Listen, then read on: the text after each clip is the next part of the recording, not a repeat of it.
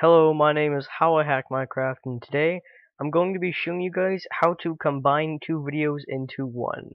Now, if you're one of those people that like free uh, software but can only record up to 10 minutes like myself, this will change your life forever. If you hate those restrictions, this will simply make it amazing.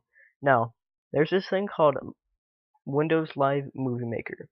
Now, I'll put the link in the description, the download link, and yeah, I'm going to be showing you how to combine videos and how to save it properly because most people don't even save it properly. And yeah.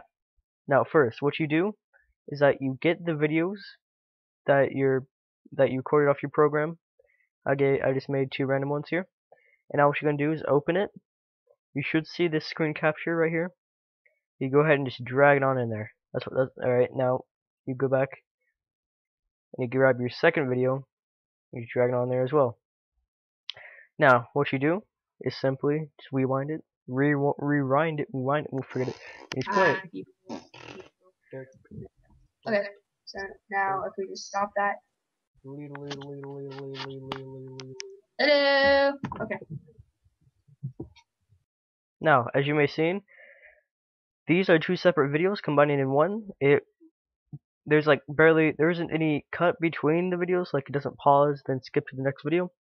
This is a very good um like I like this because it's fast it's like one of the fastest and it's also very easy to use. Now I'm going to show you how to save it easily and correctly. Now you go to file. Instead of saving as save as or save project as you go down here into save movie and once you click that it's all the way at the top. It says recommended for this project. Now once you do that it should come up as this. Like not this but go ahead and just name it something random. You go ahead and save it. It does take a little bit to save like it depends on like the duration of the video and stuff but other than that it's pretty fast. Now once this is done downloading I will show you that it actually works. Now Come on, fast.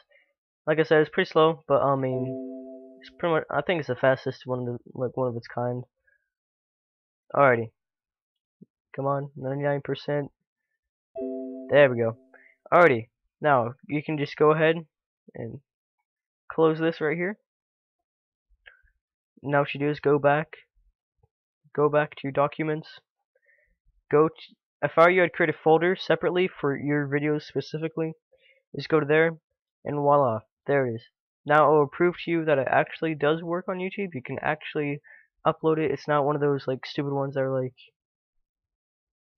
like they don't allow you to upload it for some reason like the quality is too dumb or something but yeah I'm just gonna go ahead and go to upload I'm going to go over here wait for that to load and now I'm going to simply just drag this right there. And watch. It does work. It is downloading. It does work. I'm going to cancel this because you don't want a random video. But yeah, that's how I do that. And thank you all for watching. I hope you learned something from this. Uh, please leave a like, favorite, even or even subscribe. And yeah, thank you all for watching. And I'll see you guys in the future. Goodbye.